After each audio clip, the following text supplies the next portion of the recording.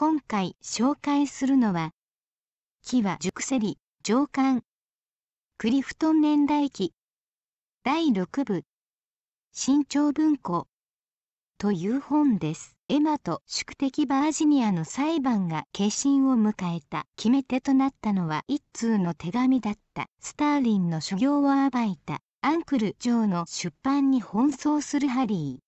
東ドイツで出会ったカリンを危険を顧みず呼び寄せんとするジャイルズ。そしてセブの新たなる恋、登場人物。それぞれが新境地に向こう中。金の亡者たちは新たな陰謀にうごめき始めた。欲望と情念がせめき合う。清絶無比のサーガ。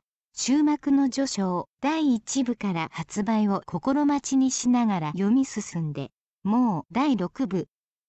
あっという間のような以上興味のある方は実際の商品を Amazon などでご確認ください今回は最後までお付き合いありがとうございましたよかったらチャンネル登録をお願いいたします。